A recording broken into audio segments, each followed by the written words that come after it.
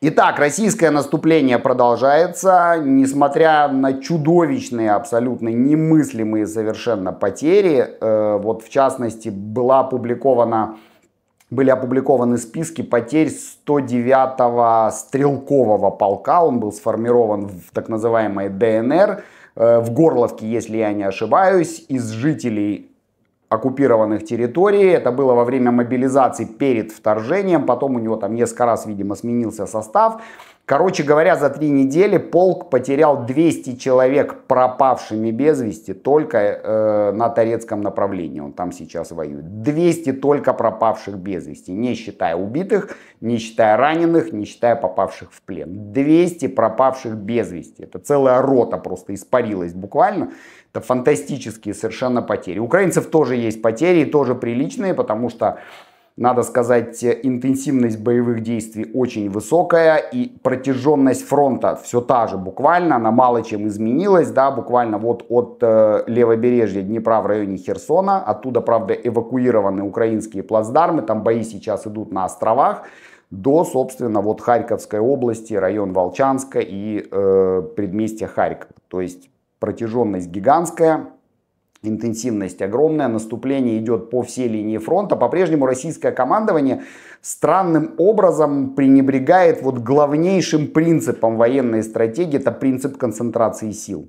Определяют направление нужное, концентрируют там силы, прорывают фронт и дальше пошли-пошли. Но вот они все равно давят буквально на всех участках. В чем смысл непонятен. Если у этого какая-то задумка, либо просто местные начальники военные хотят вот выделиться, вот у меня есть продвижение, а я там такое-то село захватил, а я вот такой-то хутор занял и так далее, трудно сказать. Пока этому трудно найти какое-то объяснение. Э, короче говоря, наступление продолжается, бои идут, и вот сейчас пройдемся, собственно, по направлениям.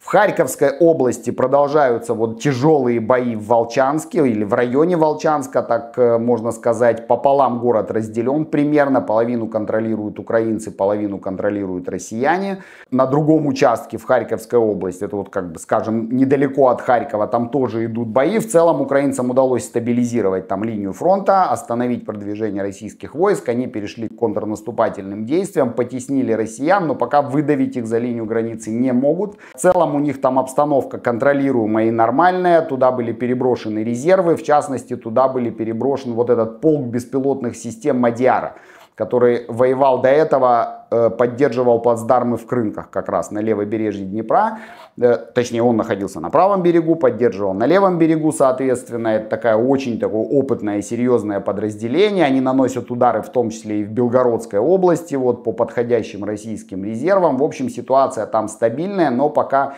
у украинцев не получается, как вот планировало, видимо, украинское командование, отбросить российские войска за линию границы. Потери там в некоторых российских подразделениях достигли 90 с лишним процентов состава. Ну, то есть подразделения не просто не боеспособны, а практически уничтожены.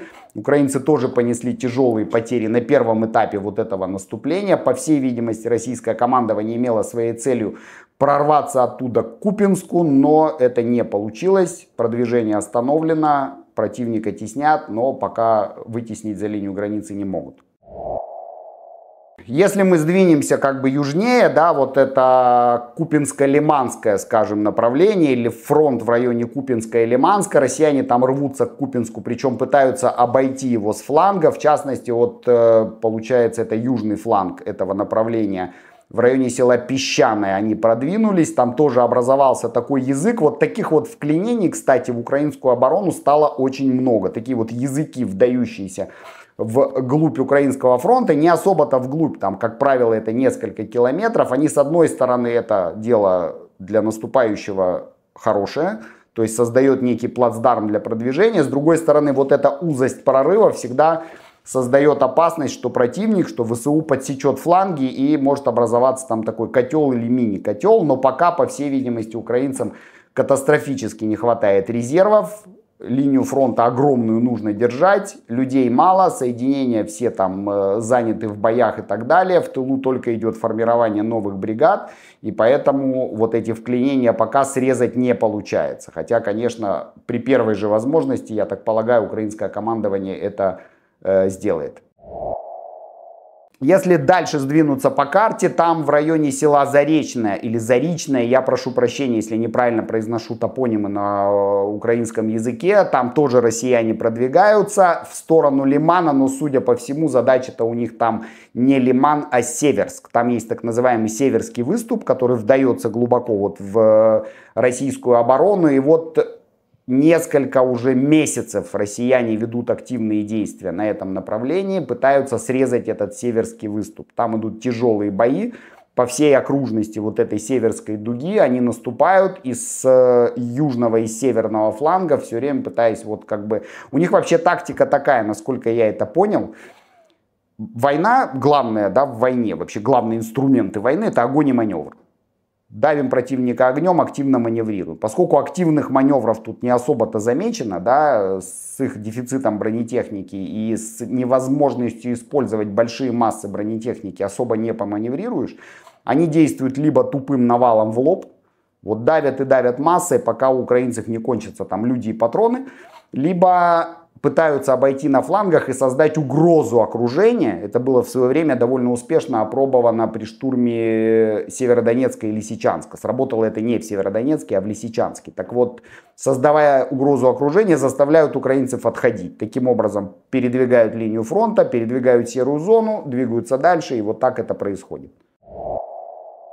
В районе города Часов Яр тоже продолжаются тяжелые бои. Россияне, судя по всему, вот пытались штурмовать город в лоб, но им мешает канал Северский Донец-Донбасс. Они захватили микрорайон Канал, который был на его, соответственно, левом берегу. Сейчас пытаются перейти на правый, но там проблема. Там многоэтажная застройка, очень такая пригодная для обороны. Преимущество украинцев по высоте. В общем, тяжело им туда пробиваться. И, судя по всему, они предприняли обход севернее через Калиновку. Они пытаются, опять же, наступать на флангах для того, чтобы охватить Часов Яр. За Часовым Яром, я напомню, там неподалеку проходит дорога Покровск-Константиновка. Очень важная такая артерия с снабжения ВСУ. Если удастся ее перерезать, тогда у украинцев будут большие проблемы в этом районе. То есть вообще, в принципе, по-прежнему замысел, видимо, прорисовывается все тот же. Выйти на административные границы Донецкой области, да, и вот как бы их, в кавычках, разумеется, освободить те территории, которые они так лихо записали в свою конституцию. Вот это, видимо, ближайшая задача. А там дальше видно, будет видно, поскольку у них горизонт планирования вряд ли там сильно большой. Кроме того, захват Часова Яра даст им возможность как бы в будущем, не сейчас, но в будущем приступить к штурму славянско-краматорской агломерации. Это самый большой укрепрайон ВСУ, там действительно с 2014 года буквально создавали и строили и так далее. Проблема в людях, кто будет защищать. Проблема вот в людях, все тот же, но об этом мы поговорим чуть позже. Но самые лучшие линии обороны не удержишь, если у тебя нет людей и техники. Поэтому вот э, украинскому командованию, вообще украинскому руководству имеет смысл на это обратить внимание. Если сместиться еще дальше по карте, там Торецкая агломерация, которую тоже пытаются охватить с двух сторон. Неожиданно вот россияне продвинулись в районе Нью-Йорка, там тоже образовался все тот же вот такой вот язык вклинение в украинскую оборону. Возможно, украинцы попытаются его срезать, но пока для этого, видимо, не хватает резервов.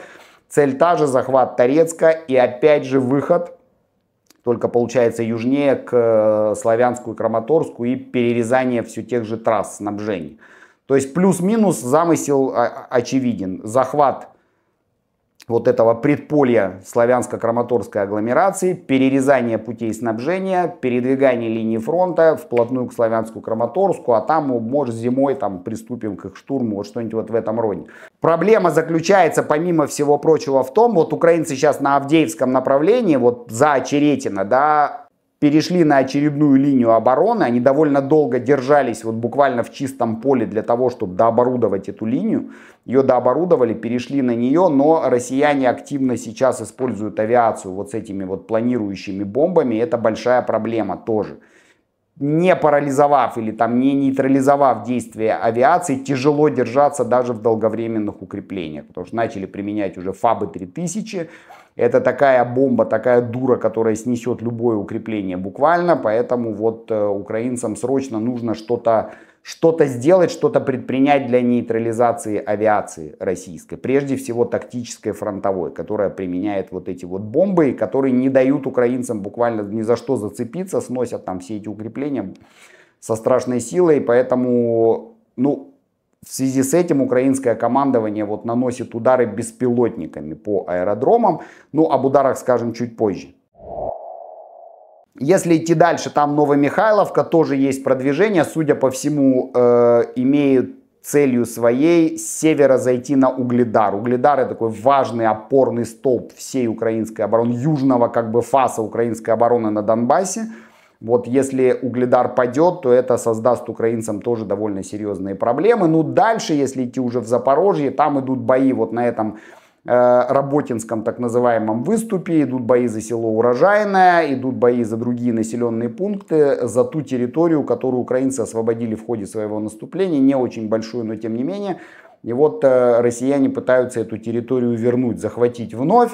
Дальше там уже вот начинаются э, южные, как бы, южный участок фронта, плацдармск рынок эвакуирован был эвакуирован, морская пехота украинская оттуда эвакуировалась, и в общем и целом уже смысла держать его, наверное, никакого не было. Были потери, особо там ничего не сделаешь. Наверное, этот плацдарм связывал большие силы россиян, не знаю точно, какие именно, но в целом уже э, гробить там людей в условиях постоянных ударов авиации, беспилотников, артиллерии, снабжения плацдармов катерами через Днепр, это все было крайне сложно и, наверное, уже никакого смысла не имело, ни стратегического, ни тактического. Поэтому вот украинское командование приняло решение Э, плацдармы эвакуировать. Бои там периодически идут на островах. Вот как бы вот в, на самом Днепре есть острова между правым и левым берегом. Там периодически высаживаются группы украинские, группы российские, ведут там бои, бомбежки, обстрелы, беспилотники. В общем, такие действия, больше надо сказать, беспокоящие. Вот приблизительно такая ситуация. Еще раз говорю, проблема заключается в людях. Эту проблему испытывают обе стороны. У украинцев проблема в формировании новых бригад. Сейчас, правда, вот судя по всему, удалось набрать людей порядка, видимо, 70-80 тысяч человек, если идет формирование 10 новых бригад. Проблема в вооружении. Запад поставляет вооружение очень небыстро, я бы сказал, дозированно и медленно. И проблема с комплектацией этих бригад именно вот техникой. Э, для того, чтобы создать из них полноценные боевые соединения. Кроме того, людям нужно пройти хоть какие-то ну, тренировки, иначе вот так вот их не обстрелянными посылать на фронт, это просто угробить. Э, у россиян проблема, судя по всему, тоже с формированием новых, э, новых соединений и набором людей. И ключевым свидетельством того, что это проблема – это резкое увеличение выплат, единовременный выплат, вот так называемая единовременная региональная выплата за подписание контракта. В Москве она достигла уже 2 миллионов рублей. Ну, это, я так понимаю, примерно 19, наверное, 20 тысяч долларов. Столько не платят даже в американской армии. вообще ни в какой армии столько не платят за подписание контракта буквально. То есть проблема-то заключается в чем? Ответственность на губернаторах. На Сахалине, например, миллион рублей она составляет. Там есть такой приличный разброс. В Краснодарском крае миллион шестьсот пятьдесят, там полтора миллиона в некоторых регионах. Но везде, везде, везде она постоянно, постоянно, постоянно увеличивается. Причем она резко увеличилась за несколько месяцев последних. То есть ответственность на губернаторах, вынь да положь, обеспечь план, столько-то контрактников, иначе вот голова с плеч э, в отставку, а то и сядешь еще к тому же. Поэтому они готовы платить сколько угодно, плюс эти вот ежемесячные выплаты. Там речь идет о каких-то несусветных совершенно триллионах, которые потратили на выплаты военнослужащим и семьям погибших, и там покалеченным разным раненым и так далее и тому подобное.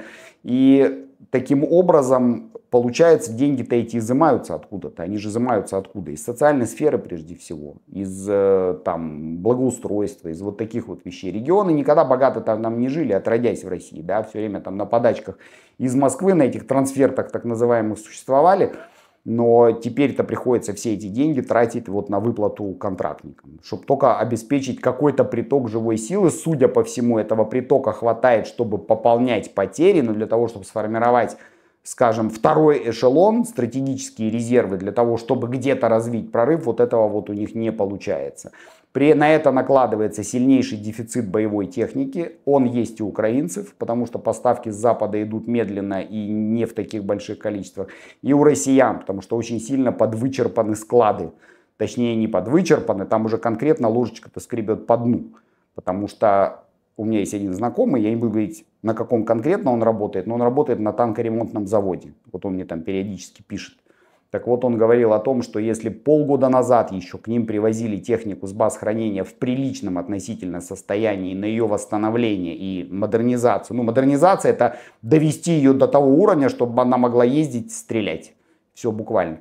Так вот, э, если технику привозили в более-менее нормальном состоянии, то сейчас ее привозят уже просто груды металлолома, и приходится там эти танки и бронемашины ну, строить буквально заново. Там, кроме корпуса ничего и нет толком.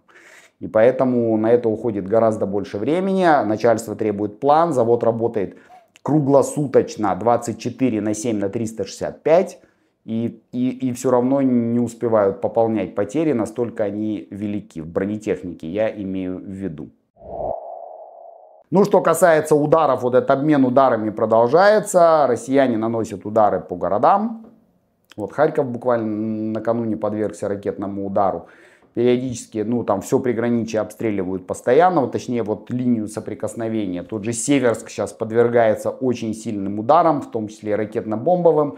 Украинцы, в свою очередь, атакуют объекты на территории России, не имея разрешения на применение западного оружия, они делают это беспилотниками. Вот атаковали заводы в Туапсе, атаковали военные аэродромы, атакуют базы хранения, точнее базы э, снабжения, вот так вот будет правильно сказать, потому что базы хранения там находятся, бог знает где, там за Уралом, их там сильно не атакуешь.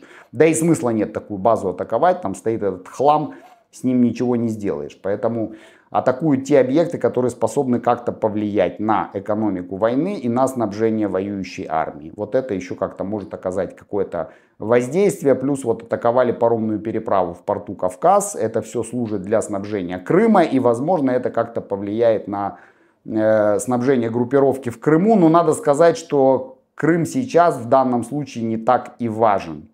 Э, поскольку снабжение уже, снабжение раньше воюющей армии, скажем, на запорожском направлении шло через Крым только, то сейчас они построили железную дорогу от Ростова и снабжают ее вот таким вот образом, поэтому там особо э, Крым э, в этом снабжении роли особой не играет, но тем не менее там много военных объектов, там авиация, там ракеты, там флот, и ну флот там почти не осталось, он почти весь оттуда выведен в район Новороссийской, частично уже даже в Абхазию начали перебазировать, э, благодаря вот действиям этих украинских надводных дронов и так далее. В общем, короче говоря, война продолжается.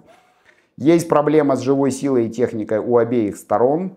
У россиян есть продвижение, медленные, маленькие, используется, как вот говорит наш э, военный аналитик Давид Шарп, та тактика солями, то есть нарезают фронт вот такими маленькими кусочками, есть э, мнение у многих экспертов-аналитиков, что Россия способна вести активные боевые действия до конца этого года с учетом наличия запасов техники, там, людей и так далее, без объявления мобилизации имеется в виду. Но тут мы загадывать не будем, доживем до конца года, там посмотрим. Ну и будем, конечно, следить за этими вещами. Это все важно, потому что это война, там много людей погибает, там э, Украина обороняется от совершенно чудовищной, ничем не спровоцированной агрессии, поэтому мы про этот про эту войну ни в коем случае забывать не будем и будем о ней еще много говорить.